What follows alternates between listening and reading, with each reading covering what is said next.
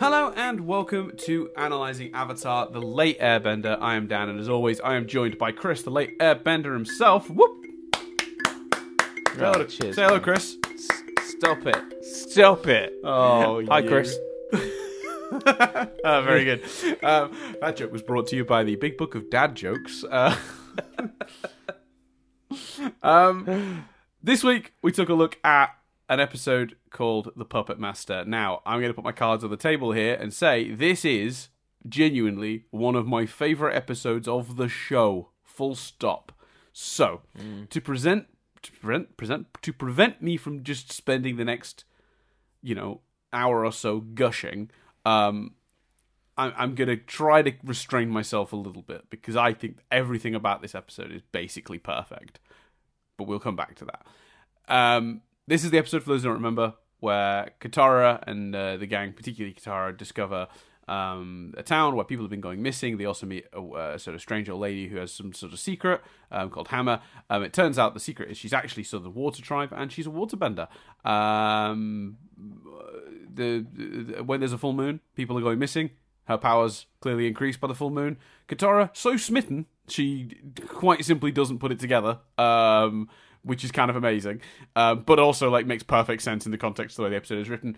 Um, eventually, she discovers that the reason people are going missing is because Hama uh, has a skill called bloodbending, which is one of those many things we've talked about. Uh, you know, where, where the where there's the initial skill, waterbending, and then a thing you can do beyond that like like earthbenders being able to do metal bending if they get good enough. Um, it's an incredible thing, uh, very dark idea, extremely creepy, um, and upsetting as an episode. Um, did air as their Halloween episode that year. Um, aired in uh, you know like October twenty fifth, I want to say. Yes, October twenty fifth. I checked. I, I did. I was. I was trying to check it earlier, but I, I couldn't quite get the date. But yeah, it aired in October. Um, so yeah, sp- sp- spookiest, spooky, spookiest, spooky, spooky episode. Um, in the end, um, to to defeat Hama, Katara has to bloodbend herself, making her uh, almost as as as bad as the thing she was she was fighting against. It's a, and, and the episode just ends on her sobbing, which is just really dark. Um, so what, what do we think, Chris? Uh, because if, if if we're not careful, I will gush forever. Oh, I loved it. I thought it was incredibly creepy, in- incredibly uh, such a terrifying, creepy idea, but also so incredibly logical. I, I have a question for you, Dan.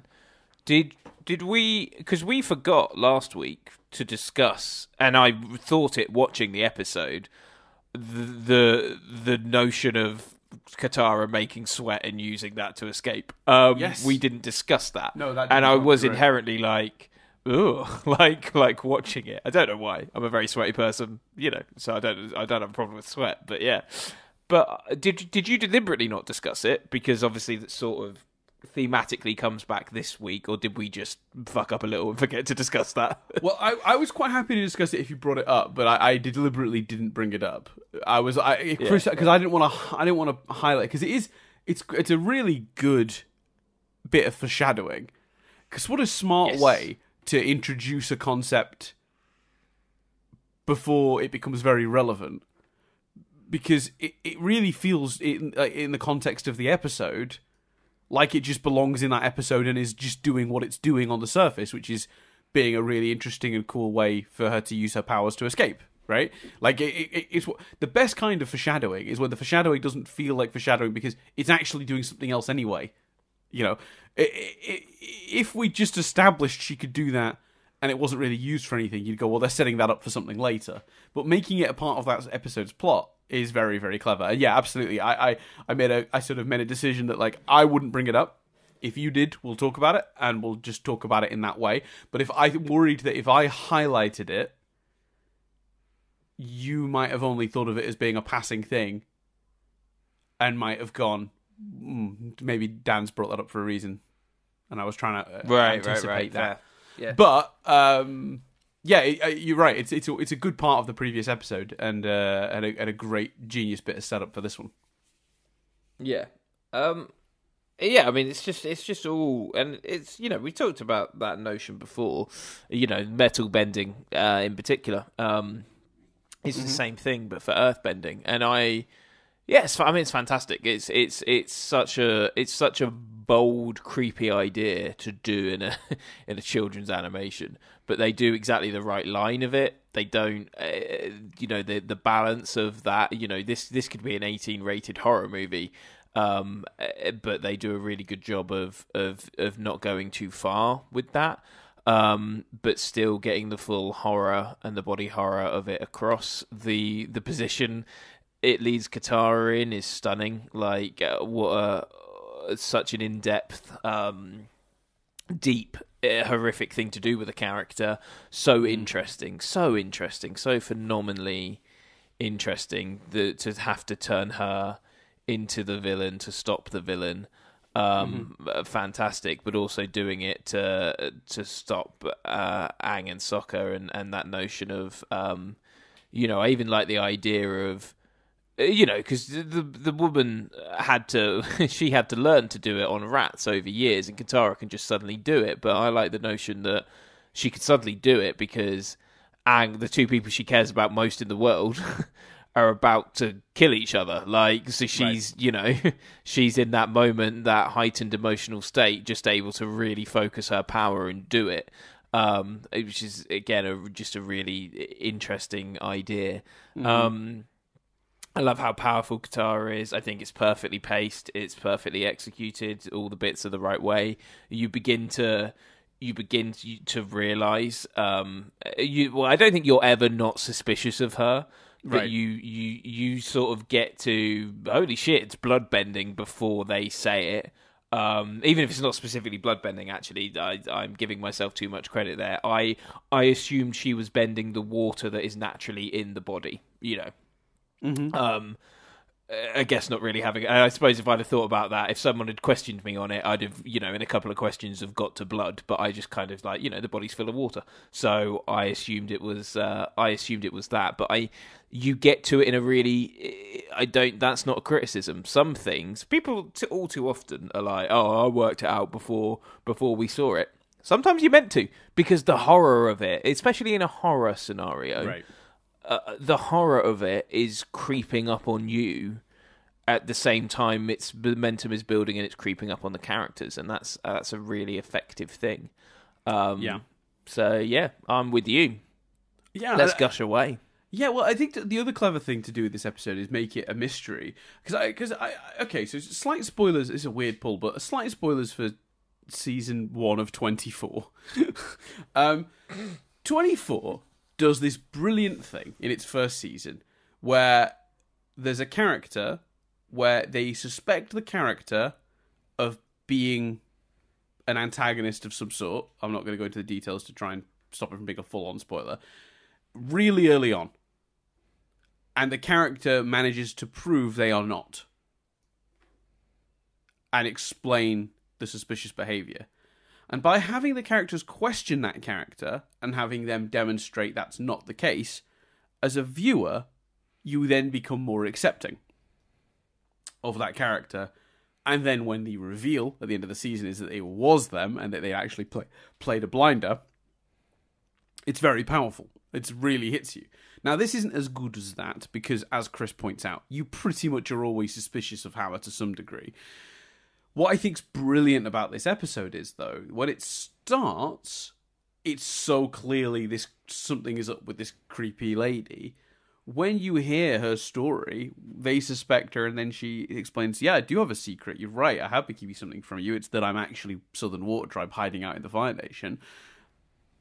There is a minute or two where you think they could go that route, where she's innocent.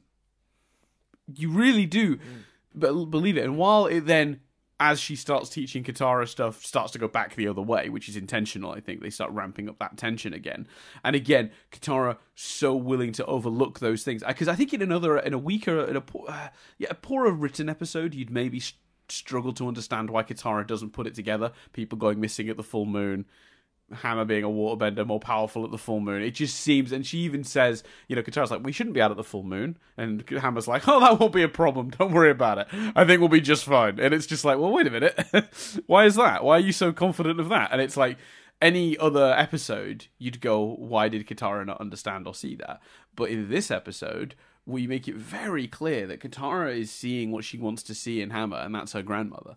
You know, her her mm. heritage, her her you know her own history laid out in front of her, a, link to her mother. You know, it's it's so many things to Katara, and to then turn that so sour and into something so horrible it's ju- it's just genius writing, like on all levels. So, but the, yeah, they, so they use that twenty four trick really well to give you a moment of doubt with Hama before they then drive the nail in. Um, but it also allows them to explore by having it be so obvious. We actually get to understand a little more about Katara and how she's seeing this because I think you know if it was hidden better, you maybe wouldn't take that away from the episode, you know, Katara's smittenness. But because it's so blatant, particularly when she takes her out into the field and is drawing water from the flowers, like, yeah, it really gives the game away, I think, that whole sequence. Um, but yeah, turning it into a mystery in general and having, like, you know, while Katara's going through all that, the rest of them, you know, poking around and also giving us a second possibility that it could be a spirit, which we've seen. How many towns have they gone to where there's a spirit and it's because they're trashing the local ecosystem and the spirit's angry?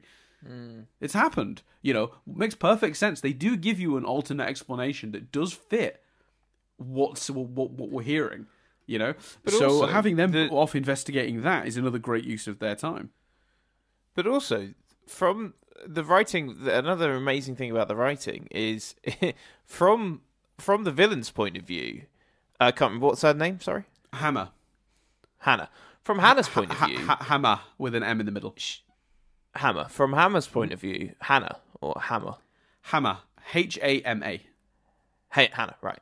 Uh. From Hannah's point of view, it's not like she's hiding something or she's she's not the villain from her point of view right like she she fully believes what she's doing she believes her reasoning and you know if that if katara is like yeah okay this is a great idea she's revealing she's revealing what she's done to her within seconds of that forest scene if you know katara just immediately is on her side um mm-hmm. so she's not even it's not like she's keeping this big secret or has this dastardly plan because in her head it's not that. In her head, it is absolutely the right thing to do. Yeah, it's and, obviously and, and fucking head, not. Katara, but... Katara's going to turn around and be like, "Yeah, that's a great idea. We should keep doing this." Yeah, which is why at the end, I, I don't even think in her head the villain loses because no, she doesn't. Because she she convinces in her head she has influenced someone who she knows is more powerful to her than her to do the same thing and potentially take it forward. Yeah, set her on a path to become, you know, like she is. And, and, mm. and, use that technique against the Fire Nation that ripped her from her home. And again, yeah. we, we're in that world of this story because it's doing so fucking much. Also, another example of like the characters, like Jet back in the day, going right back to season one, and several of the characters since, just blindly being like Fire Nation bad. Yeah. Yeah, yeah. Uh, so we're again at this this idea of hey, guess what? Not everyone that lives in a country that's government or leadership is doing terrible things is a bad person Which, inherently. It's not how war works. um, I think you could have got a really cool, you know, Spider-Man Two train sequence moment where, in order to save them, you know, there's some overt airbending or earthbending, and these Fire Nation people kind of realize Aang's the Avatar, or realize that there's earthbenders and waterbenders in the mix, and they look at the gang and go, "You freed our town, we will keep your secret." Uh, you know, yeah. they literally have that represented, shown in the episode by you know having these the Fire Nation people there go, "We're not going to turn you in because we recognize what you've done for us." Yeah, that's an interesting thought, and, and I think it's a, it is a good idea. I just I would worry that it would maybe take away from the Katara of this episode because I, I like yeah, yeah, oh, the only yeah, person yeah. that the, the, the episode focuses on is her. Uh, really, you know, the, the, it's very supplemental that Sokka, Aang, and Toph are off looking for the, you know, for the for for Hama's victims, the people she's she's sort of forced to, you know, she's kidnapped by making them mm. you know, essentially walk themselves into captivity, which is kind of insane. Um, when that guy describes what happens to him as well, the the first guy they meet, it's so hmm. upsetting mm. the notion. But yeah, um, I, you're right. I, I, would like to see that Aang scene, but I don't know if this is the episode to do it in. Does that make sense? Yeah, that's fair. Yeah, yeah, yeah completely. I think because I think you're exactly right. That that's a really cool idea to give Aang that moment, and they kind of could have done it at the Painted Lady, but again, that's an episode of that's a Katara based episode, and you you've really got to fi- find a like a an Aang centric episode to do that in. I think. Yeah, yeah, I'd say so. Um, that's that's fair, and also and, it's and you're right. slightly. The perfect opportunity did arise here. It's just it's a shame the episode isn't focused on him. And I kind of like the fact that they almost don't. It would also undermine her point, and I she's obviously not right, but I like the idea that they don't undermine her point. You do you do understand her logic even if you don't agree with it as in Hannah's logic. Yeah, yeah, yeah, yeah. Hannah's kind of a. She, yeah, she's she's a she, she's a uh, uh, one of those really good antagonists that's like completely understandably wrong. you know, yeah, like Yeah. it's it's it's you totally get how she got there. You don't agree with her or her methodology, completely. but you you get how she got there. And even like you're right that the, what's so good about this episode is essentially the bad guy wins. You know, she wanted someone to carry on that legacy, you know, uh, of this horrible technique, this bloodbending, and you know, um, and and you know, here we are. Like it's she, she's succeeded. She's taught someone how to do it, uh, and that person sho- showed themselves willing to do it in extraordinary circumstances. Sure, but yeah, it's it's a win, uh, and it's worth talking about that as well. Hama's creative fighting style um, and th- that entire moonlit battle between her and Katara that ends with um, her having Sokka and Aang flying towards each other with bloodbending, Sokka with his sword outstretched, about to you know pierce Aang's chest. Basically, that's like a really one very dark idea for this show. Number one, literally trying to make Sokka kill Aang. Um, but two, like what a creative use of the of the technique. Like they didn't hold back. There's, you know, No, it- they could have just kept it with the bit they did before, where it's a bit of light-hearted, like Sokka tries to swing his sword at Katara, and she like freezes him to a tree, and he's like, "I'm so sorry." She's like, "It's okay." you know, they could have just kept it at that, which is fun and a, a reasonably interesting use of it. But the way they force her into it, it's just ah, it's so good. This this fucking episode. Yeah, it's brilliant. It's fantastic. Like uh, because e even like I really enjoyed the the comical because you know the Sokka stuff, like you say, is sort of played for jokes. Um, But I got a real kick out of like her being like when she um ices Aang to the tree, and she's like, "Sorry, Aang," and he's like, "It's okay." like, yeah, yeah, exactly. Yeah.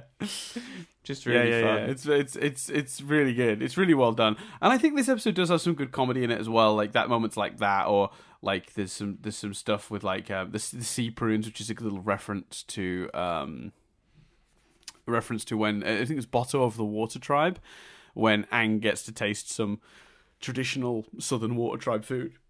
And he hates it, and then he Toph, who hasn't had the the pleasure yet, Aang like whispers like, "Don't touch the sea prunes." He's like, Yeah. "Trust me, I've done it. I've learned. These guys love it. It ain't the one."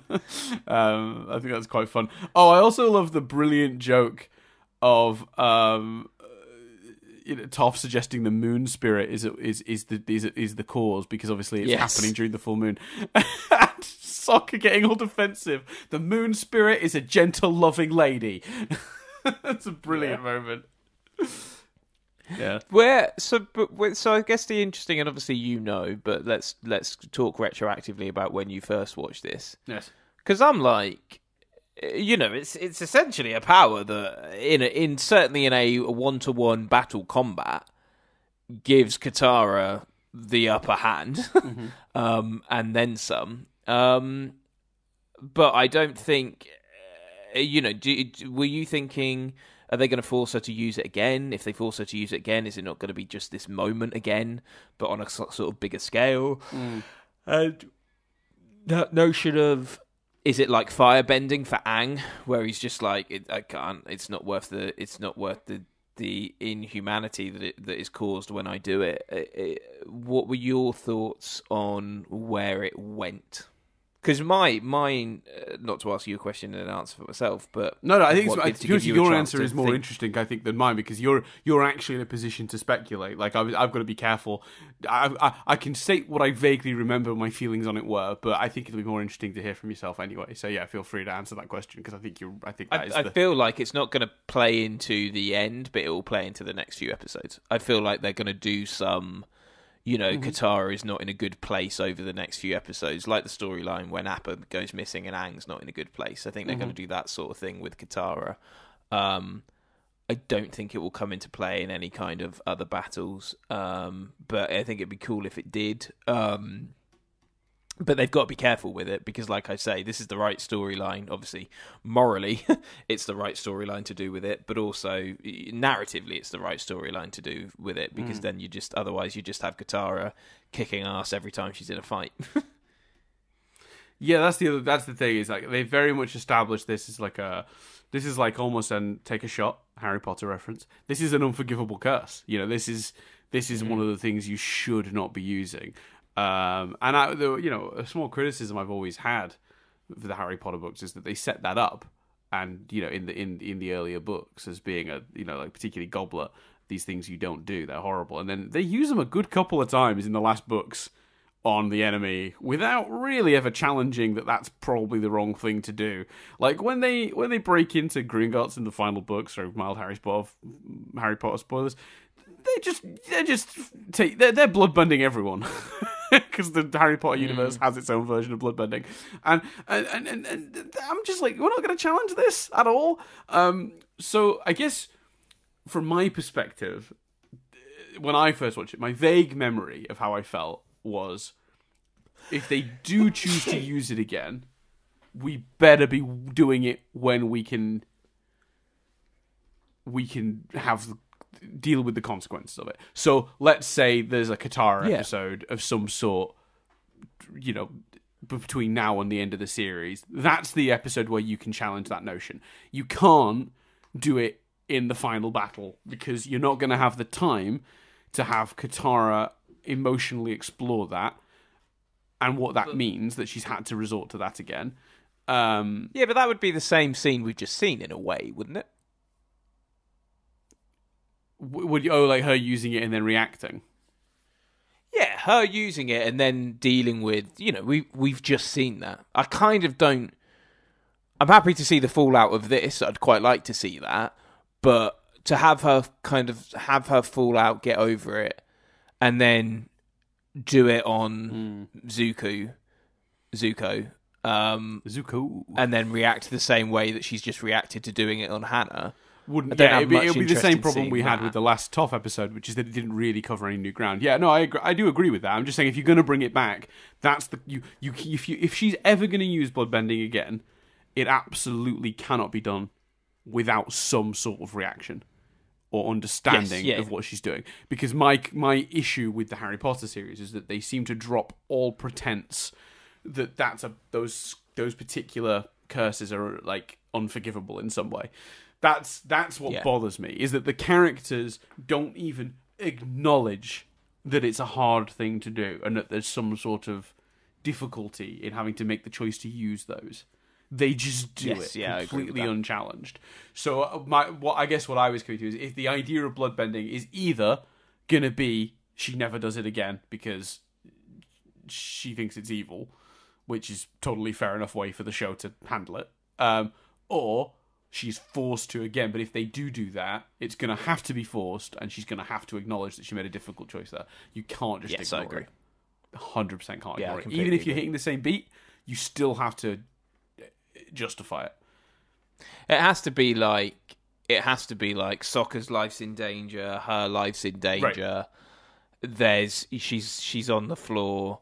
They look at each other, you know, a look that says you have to, and then she kicks some ass with bloodbending, and the Fire Nation are like, because as horrific as an idea as it is, there's some spectacular like visuals you could do with it, and like that moment where the Firebenders realised what what's happening would be stunning. Um, so yeah, I I completely agree. It's, it, it's and you kind of definitely as much as like as much as sorry to interrupt, as much as I don't want her to have the emotional pain of having to do it. I do kind of want to see the Fire Tribe's reaction to it. Right, yeah, they like sort of get the. the I want to see Fire Nation it's- soldiers almost afraid of of of Katara the way you'd be afraid of a monster. Like the yeah, the idea of them reacting It's- to her like like a mon- uh, being a monster having you know, having done it. Uh, yeah, that's it. you're right. That's a, 'Cause that's the- she you know have her be almost become the villain from their perspective and yeah, that's a, that's a, yeah, that's a and, really and thinking idea. about it, it, it's not even Zuko; it's Azula. Do you know? I the Azula Katara fighting, and Azula thinking she's got the upper hand, and then Katara producing that move Mhm. is sort of the is if if we're going to see it again, that's how I want to see it. Because Zuko, Zuko's, you know, de- uh, conflicting, dealing with his own stuff.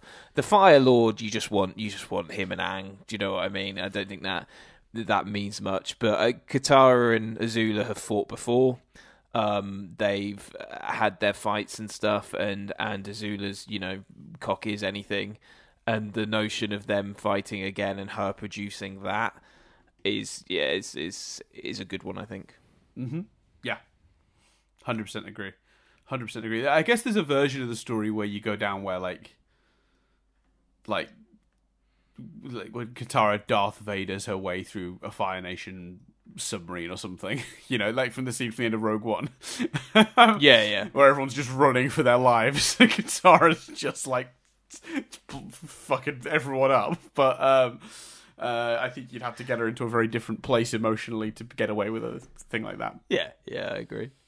Um, so yeah, uh, I, I I genuinely think it's one of the, the best episodes of the show. Um, and I and and and a, and a big big old thumbs up to Tress MacNeille, who who I generally. Who I mostly just know from being in like doing Simpsons and Futurama. I don't really, uh, you know, uh, I'm I don't really know what like what else she's famous for. Really, I only really know recognize her voice from. Oh no, she's an anima- Animaniacs as well. She's she's she's thingy, isn't she, for Animaniacs? I think. I have no idea. Anyway, uh, Tress MacNeille's voice I, I I love, and I think she's um a really good choice here. Um, I don't think she's a, she's a, she'd be a hard actress to sort of uh, figure into this show in any other way because she's a very distinct voice. Only fits. She's very she is versatile, but she does also like in a show like this that's a bit more naturalistic. You you you- you're a bit more restricted in what kind of characters you can have her voice, and I think this is a really great use for her. Um, big big old fan. Yeah, yeah, I agree. Um, I think she was really effective, and she was effective at playing both sides. You know, there were moments where you thought mm, maybe she's a good Yeah. guy, um, and I think a lot of that is down to the the voice acting as as well as the script and stuff. Yeah, she, oh, yeah, she. I checked. She is Dot from Animaniacs. I thought so. Um, yeah, no, she's she's she's a very good actress, and I think you're right exactly that because you've got to really sell. You've got to sell that moment in the middle when you think there's a possibility Hama might just be another victim of the Fire Nation trying to get by. You know, which is which is still technically true, even when we found out the rest of her story. But you know, you know, completely innocent, not hurting anyone. Uh, you know, there's, you've got to be able to sell me on on that version of it too, and like the the the, the, the show the show does that um, Yeah, definitely. quite well, but it's not just through the writing though, through through her performance, as you pointed out. Um, Yeah. I also love. I just want to the, the quote that I really love and the way she delivers it. It's the "do what you must to survive" thing. Like Mm. when she says that, it's very very telling of her whole attitude, but it's said in such a great way. So yeah, um, yeah. I'm trying to think if there's anything else. I mean, I feel, I feel like we've covered it, which is weird. We've covered it in like record time yeah, this but is what it's because happens it's when there's But nothing. no, to it's. Yeah, it's what we've said multiple times. When the episode is just fantastic, you're just naming great scenes from it. Um, do you? No, it's just awesome. I got nothing. I like I like that Aang and Sokka went back. Um, that made a lot of sense, and Toph stayed to sort of help the people that she was Right. saying all along were were there. Um, well, I really like well, that. A little poke there in just the the the once again Toph being very overpowered because if it had been the other way round, the fight would have ended. And I know that's why we did it that way. I understand, but uh, Toph would have flattened Hama in a second. Like it wouldn't have been a fight. like Not that's if Hannah, not if Hannah realised she was there, in and then um, had a chance to bloodbend Toph before Toph I guess. bring a load of Well, then, oh, then in that case, Katara's dead. like Toph is Toph is the lapis of this show. We mostly have to get her out of the way because she's too powerful for her own good. Why don't I, let's dig into that then? Because I, for me, the reason Katara could, uh, for me, because it's the same power against each other, because they have the same skills against each other, but Katara is younger and and and uh, they're both masters but Katara is a master at, at sort of approaching the peak of her powers whereas Right. Hama by her own admission is you know getting older and and that's going away a bit. That's why Katara can face off against her because Toph has a different power. So I don't think I can see your argument of well, you could argue the same about Katara. I don't think you can because Katara's got the same power, and that's why she's able to overthrow it. Whereas I think Toph would be more easily controlled by Hama because it's a different power. Yeah, that again, that assumes uh, Hama sees her coming. Whereas I feel like I, Yes, she- yeah, yeah, know, yeah. But that was yeah. that was the that was the parameters in which I was talking about it anyway. Yeah, yeah, yeah. I, I, I think you know, if Toph's just arriving on the scene, like Hama's in Earth handcuffs and in a box, immediately trapped and unable to move, and therefore unable to bend. Like, Aang- you know what I mean? Like, but she- Aang can- she's can flattening her in like two point three seconds. You know. But how come Aang couldn't take her on then? Well, I mean, uh, we we uh, do you remember that episode when they go to see the Earth King and the um the whole Earth Nation army like show up and Toph just flies through them all. Toph just wipes them Yeah, all yeah. out in like three moves.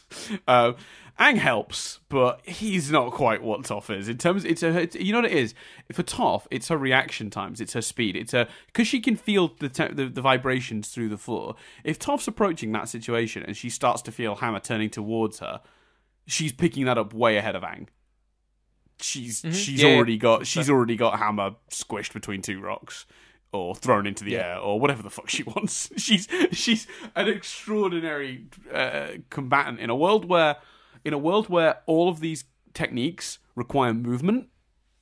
Like they they have they do a series of moves to physically bend any element.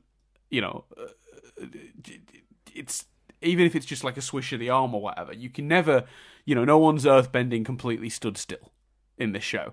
So Toph's at a massive advantage at all times because she sees what you're about to do before you do it and just will disable you. It's just she'll just she'll just you know cover you in rock. Like I, I, I guess her biggest uh, potential challenge is another uh, earthbender, I guess. Um, but yeah, I feel like I feel like sometimes in this show they do keep Toph out of the way for that reason.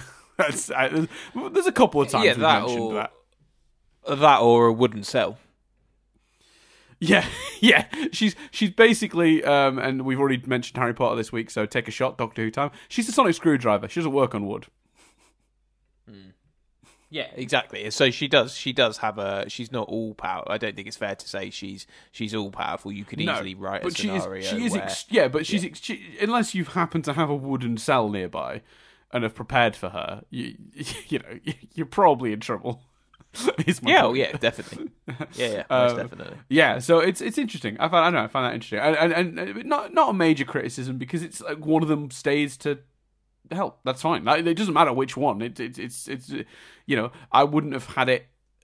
The one way round that doesn't well, actually, it's the way round that makes the most sense because of course Aang and Sokka both have their feelings for Katara. Uh, Sokka obviously has it's his sister. And you know he loves her deeply. Aang obviously has his feelings for Katara, whereas Toph, uh, who does like Katara and gets on with Katara well enough, isn't like it's not the same, is it? That she's definitely the one that's likely to stay behind in that scenario.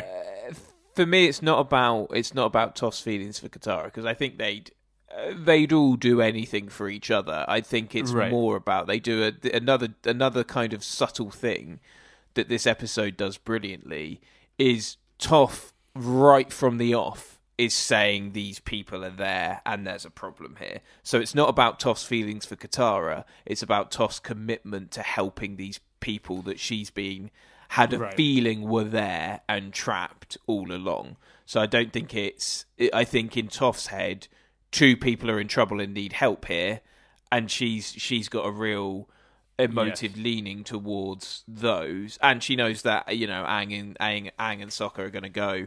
Um, going to go for Katara regardless of what else happens. So Right. she's freeing them, and then and then you know she turns, and then when they're all free, the first thing she does is turn up to where Katara's in trouble. Too bloody late. Guess me. Too late for your standards, but, T- but, but Toph. You, ultimately you, it does you, turn you're, you're my favourite, but you're letting the side down. You know, you're letting this. I think you're just looking for things to nitpick at Toph, so you don't seem too biased. yeah, yeah. Well, you're doing tough getting there just after the story needed you to be there. well, actually, no, the story very much needed you to not be there. So, I mean, just after the characters needed you to be there.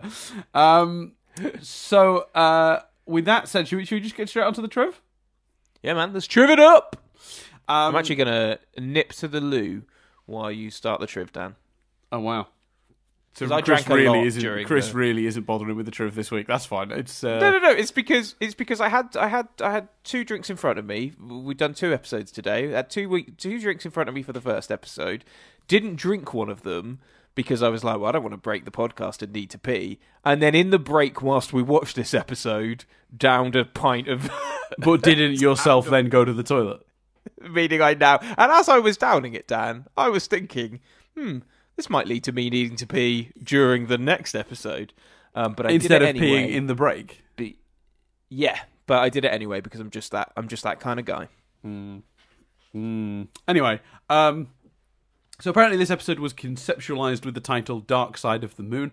Um, uh, apparently, there was a book called Sozin's Comet: The Final Battle, and on one of the pages, it actually references this episode as being called that. Um, I don't know anything about that book, but um, apparently the book was in production. Uh, was, was sort of was being developed alongside the production of this, and that's why it ends up giving the the, the, the wrong name. Uh, it's what it is. It's fine. It's not the first time we've had an alternate title for one of these episodes due to something like that, so not not not really an issue. Uh, when Katara remarks that Hama reminded her um, of her own grandmother, apparently she's holding a cabbage that looks like uh, her, her nana's face. Um, I I hope that's not true, just because that's weird, and I don't know why you would write that into the episode. Imagine putting that like in a script, like she's thinking of her grandmother. Coincidentally, the cabbage she's holding happens to look like her grandmother. What? Like, I why would you choose to do that? Um, I think I can hear Chris coming back. I am curious as to his reaction to the cabbage. Um, I think he's maybe washing washing hands. I'm a, I'm allowed to relay his reaction.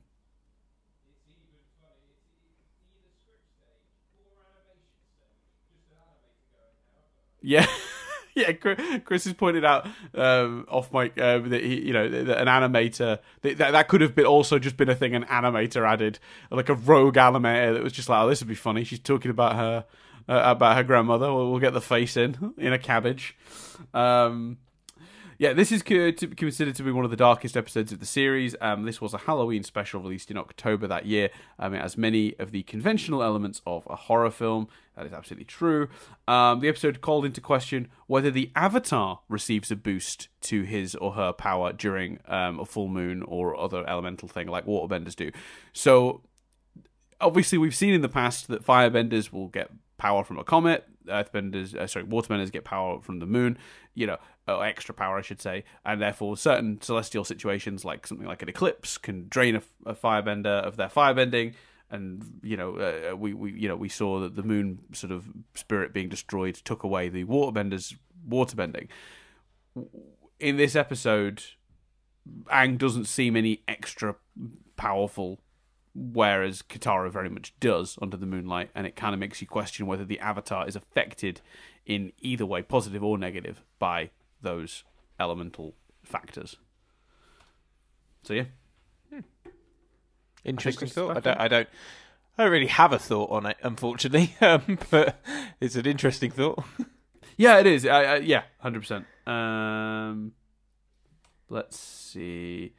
Um, why is this in the? I see. I did call the trivia, but I only had a few minutes to do it because obviously we we we watched this episode between recordings. Um, we only had like that time. Um, this is the second and final time that we see Toph blushing. Thanks, trivia. You know. um, in Hama's Oh, flashback, one of the Christ. villagers surrounding um, uh, surrounding them is, is is similar in appearance to Toph. There's a young boy that has a warrior's wolf tail hairstyle like Sokka's, and um, Katara's uh, grandmother is sporting hair loopies like Katara's, which is nice. I think that's a nice little reference. That's. See, I think I think it was all the same animator, and uh, and someone came up to him and they were like, "Oh, that looks um, that looks a little bit like visually. That's a little reference to to Toph, isn't it?" And he's like, "Yeah, no, it is." And they're like, "Oh, yeah, no, it's really good, really good subtle stuff. Um, you should do more of that." And he's like, "Oh, okay." And then uh, he comes back and he's like, "I've face. done more of that." And they're like, "Oh, brilliant! What have you done?" I've made the cabbage look like uh, look like a mum. like what? Oh dear. Um, this is the only episode in book three that has the previous on Avatar section have clips from book one.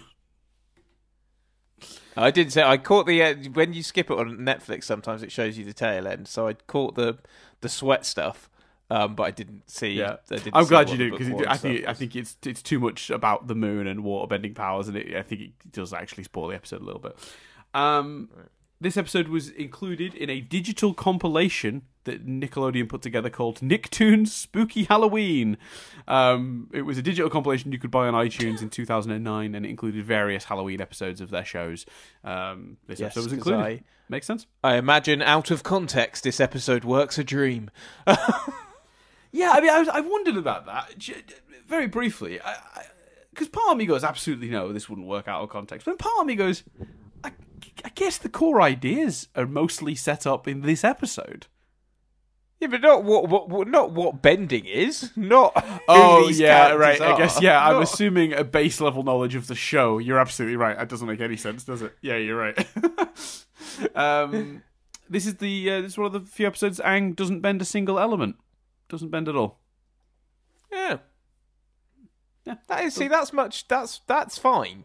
You know, that's much better than Toph's blushes. For the second and final time. yeah, Right. So, um, are you ready, Chris, I'm ready. for a listener question? Oh right, yeah. Sorry, that was the end of the trip. Yes, no, I'm absolutely ready for a, a, a, listener question. Um, oh, I swear, do we do we need to sum up that we liked the episode? We do do that, but this one was so clearly a good positive review that I don't know if we because normally at the Yes, end no, we go fantastic. great episode, really enjoyed it, blah blah blah, but or whatever Yeah, the no, review it's, is. uh, it was brilliant stuff. Yes.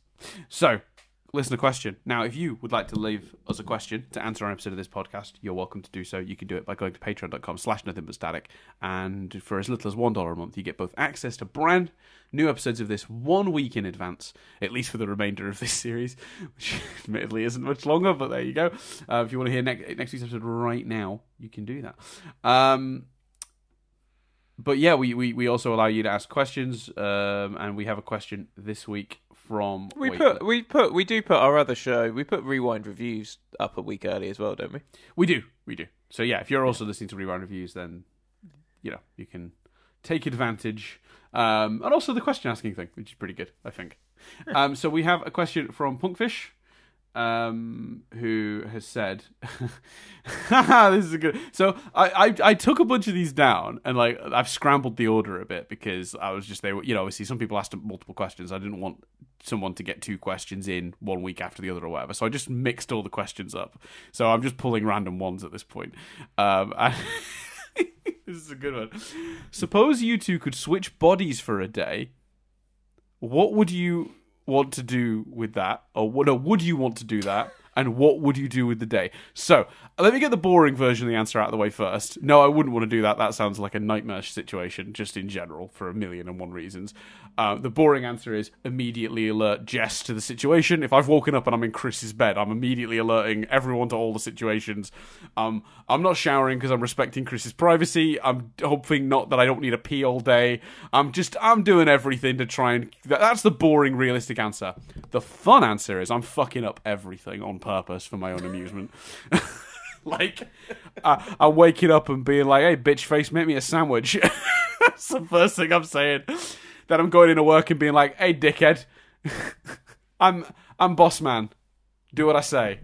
Go clean the floor or the toilet or something, and just like be an asshole all day for fun because there's no consequences on me because the next day I'm presumably I'm back in my own body." So yeah, I'd sleep with Nadia. Um, moving on. No, I'm joking. I am joking. Um, I uh,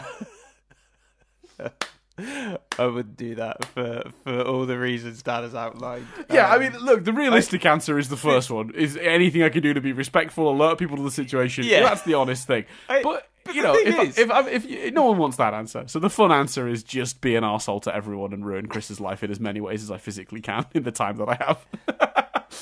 Yeah. Um, I thought it was very sweet of uh, very sweet of Dan to, to say that he wouldn't go to the toilet. You know, just as, as trust me, Dan, you could avoid seeing my my my, my, my bits by just uh, by just positioning yourself in a way that my belly sticks out a little bit more. Um, yeah, the other thing I thought about is like maybe I could do like if I desperately needed to pee, I could like if I go outside, like find a wooded like a, a, a wood area, and then I can then I've not got the fear of missing the toilet bowl. With the, I could probably do it with my eyes closed.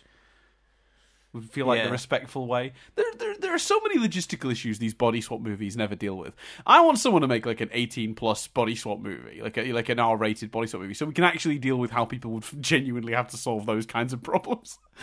Well, especially because like there's so much logistical issues, isn't there? Like even like going to work. Uh, my first thing is like I'm like, well, we're remote working at the moment, and you don't know the passwords. And then I'm like, even if you found the building and we weren't, you got to work out what key it is.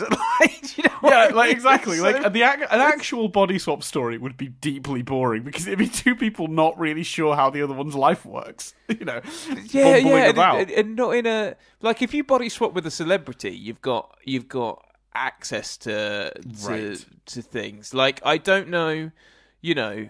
Uh, yeah, it's interesting. I think it maybe is more interesting if you also get like some of their knowledge.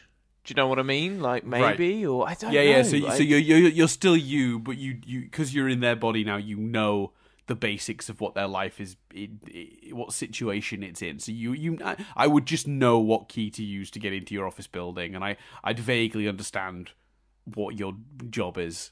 Uh, because I genuinely still don't. Uh, I'm kidding. you're, you're, Chris, you're a transponster. It's fine. Um, um, Yeah, you- maybe. But like, I, that- you know, I, I. I would gain a, a certain amount of like surface level knowledge from being in your body with, I guess, what's physically your brain, even if it's my consciousness. I think to truly take advantage of a body swap, Yeah. your your life, uh, the most interesting version of it is your life has to be so drastically diff- different. Either you know, m- male to female, female to male, or whatever, or a different country. Or a different uh, wealth, or a different status. Like I think, Right. in the w- in all the things that would make a body swap interesting, you and I live similar enough lives. yeah, yeah.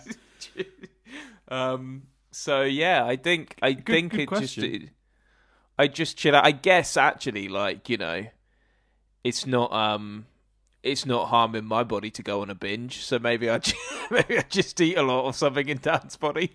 just let him deal with the consequences.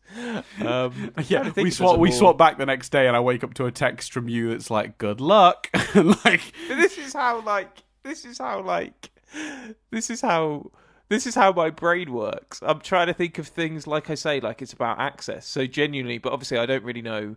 I only know what I've got that you don't have. And in my head, I'm like, well, if Dan was me for a day, he could check out BritBox. what a boring answer. yeah, I don't have a BritBox subscription, so I'd have a look at the UI, see what's on there. but the thing is, that is the kind of shit that we would actually do. Right, a hundred percent it is. It's so it's you- such a boring answer. It's be respectful and have a look at BritBox. exactly. Oh dear. Yeah, yeah, yeah, yeah. So, You're yeah. right. So yeah, good question. Dan's a thank bit you, thank you, Punkfish. It's a, good- it was a good one. Dan's. I'm not. I'm not. I'm not confirming or denying anything here.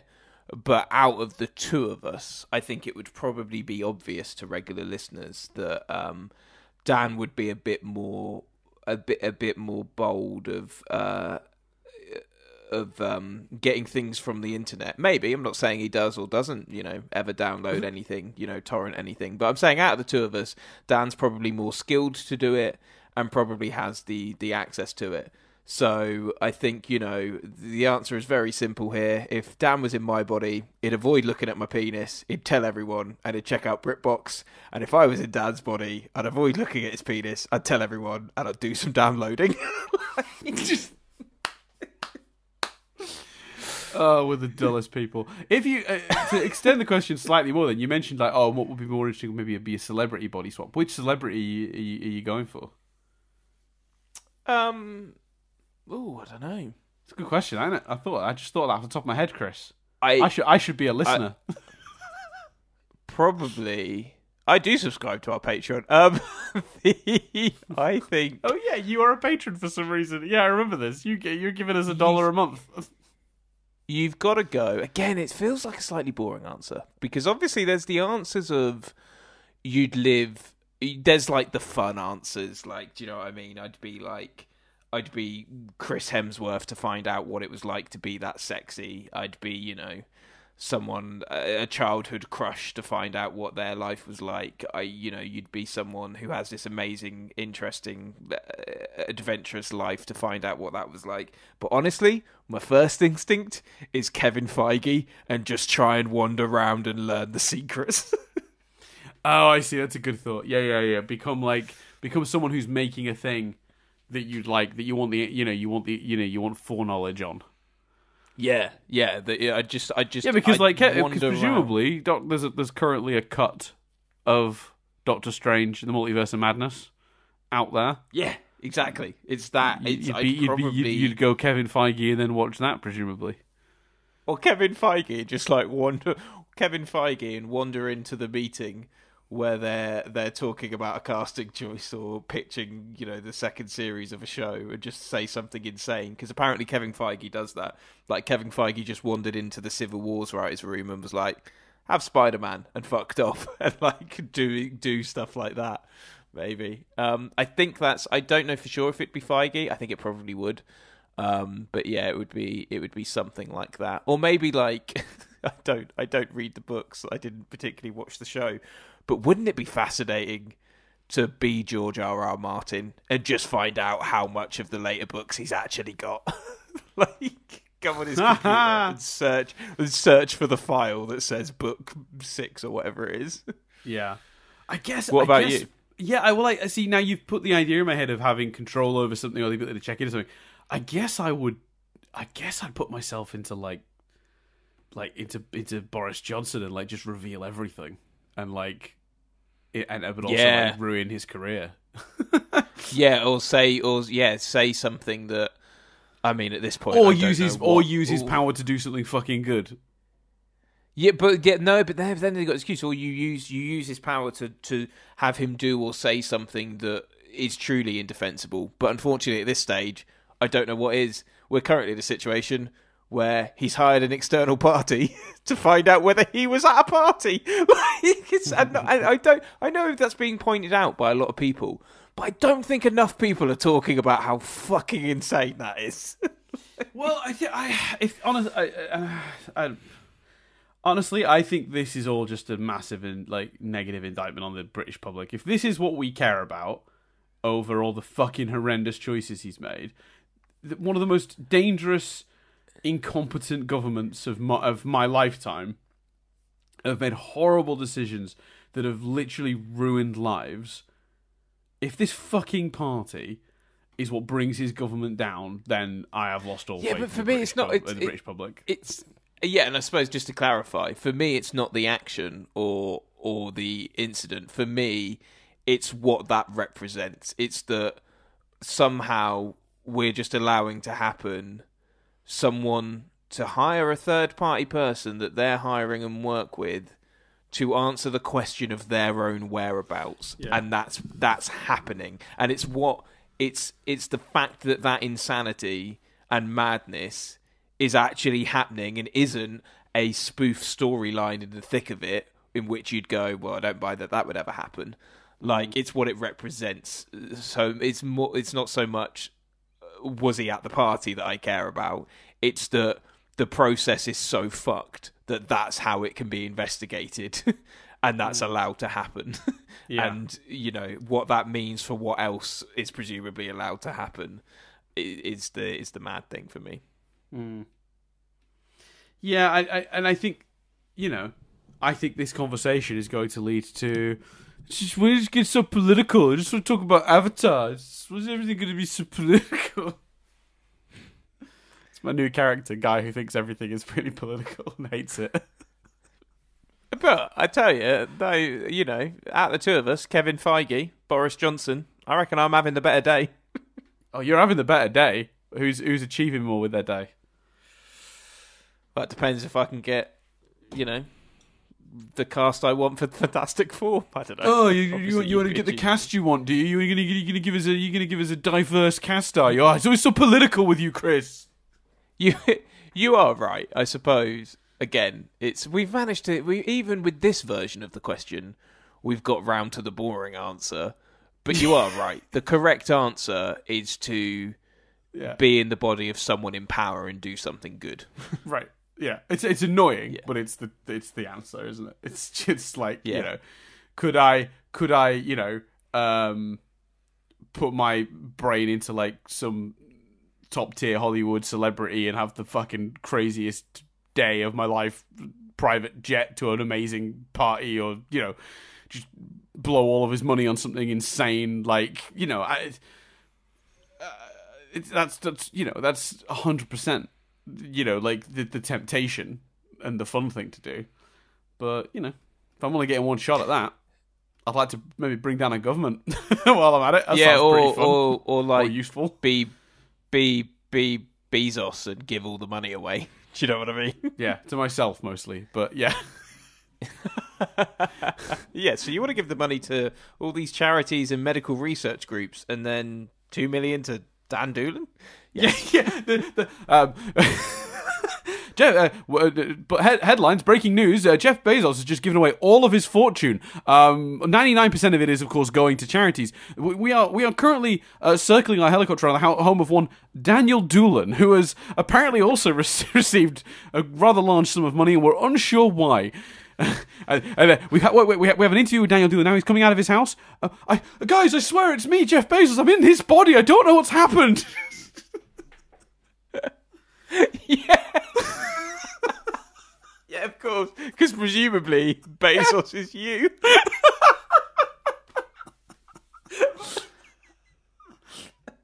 And at first it was fun, and I told his girlfriend to get me a sandwich, but now I'm like. now I'm lost. No, I wouldn't because the thing is that's the kind of thing if it's only for a day that's getting re- that's getting reversed. Do you know what I mean? That kind of thing. So maybe if you were Be- Bezos, you'd I'd wrote I'd write a comeback song to Bo Burnham. it's, it's just Jeffrey Bezos going Bo Burnham. Bo yeah, that's Burnham. fun. Um, yeah. Anyway, so well, yeah. The thing is, you can't undo that. Though you can't come back the, one day later and be like, right, I wasn't myself yesterday. All that money I just gave to all those charities, I'm taking it back. Well, yeah, that's true, I suppose. Yeah, but that's what I mean. These people are PR bulletproof, aren't they? Yeah. Anyway, that was a fun fun time. Thank you for the question, Punkfish. That led to a led to a lot of, admittedly, not very Avatar based, but certainly a fun discussion. And I'm, I'm uh, yeah, uh, but that's you know, that's the gamble of listeners' questions. That is the gamble of listeners' questions. But yeah, thank you everyone for listening. Um, as always, you can send us your thoughts. What would you do if you could jump into a various celebrity's body, or what would you do if you were if you were either me or Chris for a day? Be, that could be fun. Um, you can let us know at mail at nothingbutstatic.co.uk or you can tweet at us at Dan Doolan, at C Billingham, or if you join the Patreon uh, from patreon.com slash nothingbutstatic, you can get on the Discord and let us know there. That's That could be fun. Or in the YouTube comments for this episode. Another great place to share your thoughts on what you do with that with with that with that extraordinary power. Um, obviously, also thoughts on this episode of Avatar, which we both very much enjoyed and did talk about for a good forty five minutes before we let ourselves get completely Yeah, engulfed fine. with this nonsense. Um, So I feel Yeah. at least reasonably comfortable that you know we tangented at the end. That's the best time to do it. So if you're not into it, you could just switch off. like that's fine. It's not the end of the world. Yeah, exactly. Um. So yeah, obviously, go, uh, go support Rapho Draws. Uh, Rapho spelled R A P H O. Um, Instagram.com slash Rapho Draws or launchlinks.io slash you slash Rapho Draws. Rapho supplies that artwork of Appa in front of the sunset that we use. Um, and it's brilliant. And you should support Rapho. Rapho's done like graphic novels and other stuff you can get, like various pieces of art based on all sorts of stuff and original stuff as well. And it's available on t shirts and mugs and stuff. Um, go support. Go support uh, a really cool artist who is very nice about letting us uh, use their work. Hmm. Yeah, no, it's fantastic. Uh, It's brilliant artwork, and you should uh, you should check out the the Instagram. I 100% agree. 100% agree. Um, I think that's everything, though, Chris. Have we done it? Yeah, man. we done Yeah, it again? We're done. Yeah, I am always a little too surprised to find we've done a podcast when we get to the end of a podcast, aren't I? you are consistently, uh, as we established last week, nearly a thousand episodes. yeah. Yeah, I like, need to work out the man." actual number. I, that would be a fun thing to figure out. Um, but anyway, yeah, but it's whether you count the unaired pilot, the random two-hour episode we did on religion and never released. Like- Oh, I forgot that exists. Well, it doesn't anymore, I imagine. I can't know even if I've still got those files, but yeah. no, I Yeah, think 'cause- you were very determined they should never see the light of day, so deleted both of those things. Yeah, because well, there was also the the one the one about books that we didn't release. what? Don't So that. we did it. We did a thing for the Patreon where we recorded our thoughts on like our favorite books, recommended books, and it was only like an hour. Dude. But the problem was, we did it, and I talked a lot about Audible in it because I'd say it was saying like some of these books when I go back to them. I, whenever I read a book the first time, I like to read it, you know, in my hands, read it. But I, a second time experiencing a book, I do sometimes enjoy the audio version because I can do it while I'm commuting. You know, it's a great way to re-experience a book without having to commit the time to it. You know, um, so I talked a fair. I think I talked a fair bit about audiobooks as well. But then we got that sponsorship from Audible, and it all felt very dirty to put that on the Patreon when it's accidentally an Audible advert. right, yeah. You know, Yeah. because it and it, and we'd recorded it pre the Audible deal. Really, I should put it. I, if I, if it's still somewhere, I could put it up now, I guess. But another lost episode, of course, is when we reviewed uh, the, the the the first Dalek episode of Jodie's time as the as the Doctor, Revolution, I think it was called. Revolution of Yes. the Daleks, and then we recorded a review of it, and it was just such a miserable. We hated this review, and I just hated watching it. I hated reviewing it, and then I literally just forgot about it to the point when it was like, well, there's no point in me even putting this out at this point now. Yeah, and you, I'm so glad because at the time I was like, "Is that the right decision?" Like in general, for us to stop doing it. And I hear, I hear the creators that have powered through reviewing this era, despite not liking it, and I'm like, oh, I'm so glad this isn't us. Yeah, I'll be interested to see what we did, what we do when Russell comes in, if we if we decide to go back to reviewing Doctor Who episodes or not. But we shall see. We shall see. Um, but Yeah, yeah, so yeah, there's a, so it would be hard to count the exact number because we've, as we've just discovered, there's a bunch of unreleased episodes that will never see the light of day. Um, you know, uh, yeah. So it is Yeah. what it is. Good times. But yeah, thanks everyone for listening. I've been Dan Doolan, I've been Chris Billingham. and we'll see you next time when we sit down to watch Nightmares and Daydreams.